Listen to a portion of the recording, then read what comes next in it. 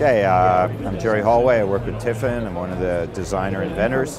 And this is some of the new stuff we've been working on. We have here uh, Lisa Sene, and she's operating a Steadicam, the M1, our latest Steadicam, biggest one, but with a new three-section post, which allows the lens to get really, really low, and also a three-section arm, which is back-mounted on the ExoVest, and this allows you not only to get a little bit higher and a little bit lower, but also gives you bounce when you're all the way high and all the way low.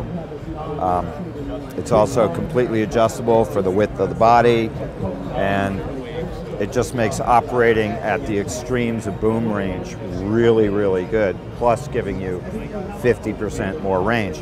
Now Lisa, her arms, she's a little bit shorter than some of the tallest operators, so she can't even all the way down, she's still got plenty of boom range left in the arm. And when she's all the way up, she's still got plenty of boom range. So if she walks, we've still got the, the arm absorbing the body's mo motions. Um, the three section post allows us to get that, even with this camera, get it right down on the deck. And with the tilt head, she can keep the uh, post vertical so she can make whip pans, she can pan really fast.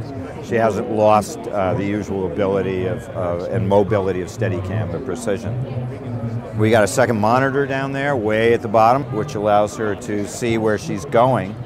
Because sometimes this, the main monitor is even higher, and you don't want to be looking up in the air, not seeing where you're going.